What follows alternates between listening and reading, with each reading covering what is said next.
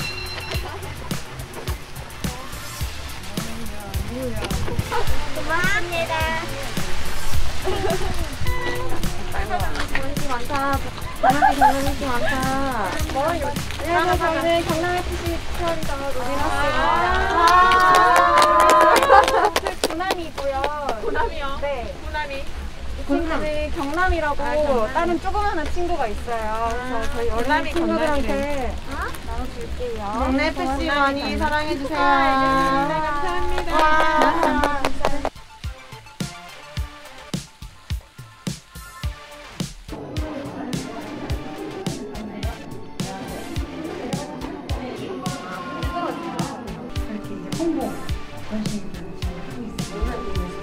이제 이렇게 뿌리가 이렇게 새 뿌리가 있는데 어떤 게 제일 먼저 이렇게 이제 생산되는 모습이 보이죠? 그리고 이쪽에서 보시면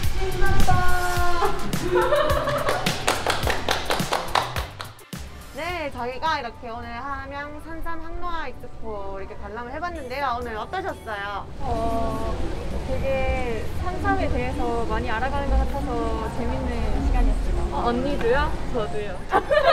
나도, 나도.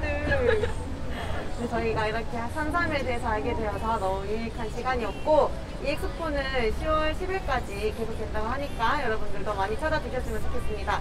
자 그럼 저희는 여기서 마무리할게요. 루미너스 간다 안녕.